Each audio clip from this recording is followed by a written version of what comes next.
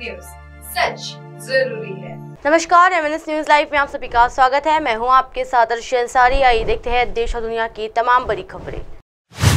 हमें भारत का भागीदार होने पर बहुत गर्व है। जी हाँ भूटान के विदेश मंत्री ने कही ये बात। भारत संयुक्त राष्ट्र वैश्विक शिखर सम्मेलन में भूटान के विदेश मंत्री टांडी दोरजी कहते हैं कि भारत हमेशा भूटान के लिए एक बहुत मज़बूत भागीदार रहा है और हम भारत को शुभकामनाएँ देते रहेंगे।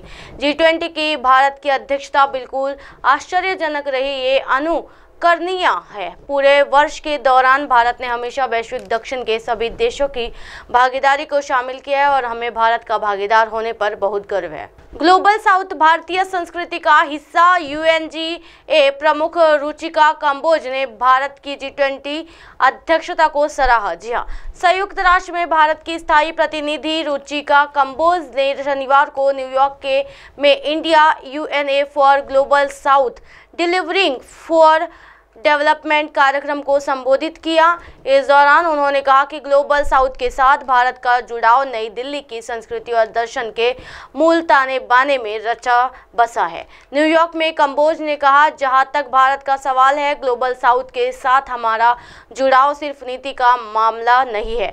ये हमारी संस्कृति और दर्शन के मूल में समाहित है। इस महीने की शुरुआत में जी नई दिल्ली नेताओं की घोषणा ने साथ ही विकासशील देशों की व्यापक विकास के लिए हमारी प्रतिबद्धता को मज़बूत किया है। कोविड 19 महामारी के दौर को किया याद। जी हाँ कंबोज ने याद दिलाया कि भारत ने कोविड 19 महामारी के दौरान लगभग 100 देशों को भारत में निर्मित टीके और 150 देशों को दवाओं की आपूर्ति करके मदद का हाथ बढ़ाया था।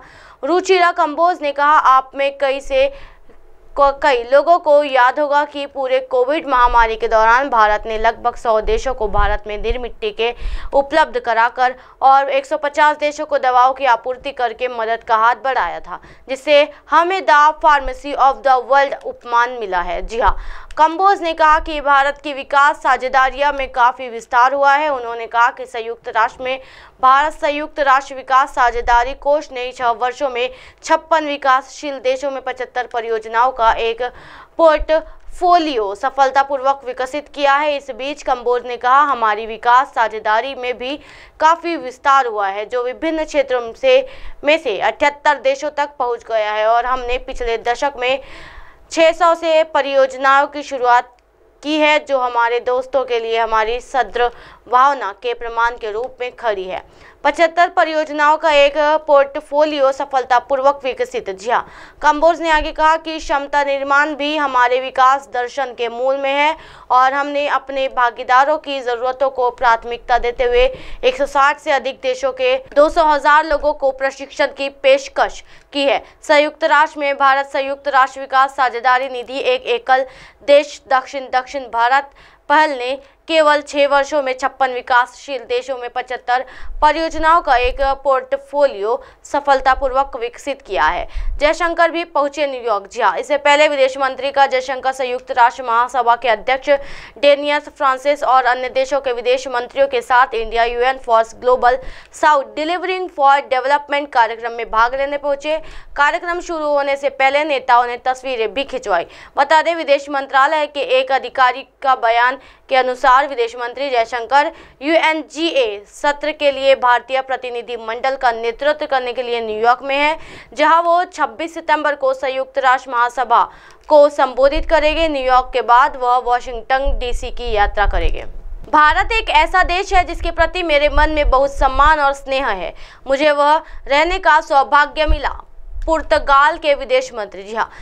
जो आओ, गोम्स, क्रेविन हो पुर्तगाल के विदेश मंत्री जो आओ गोम्स क्रेविनहो कहते हैं, भारत का एक ऐसा देश है जिससे के प्रति मेरे मन में बहुत सम्मान और स्नेह है। मुझे वहाँ तीन दशमलव पाँच, साढ़े तीन साल तक रहने का सौभाग्य मिला।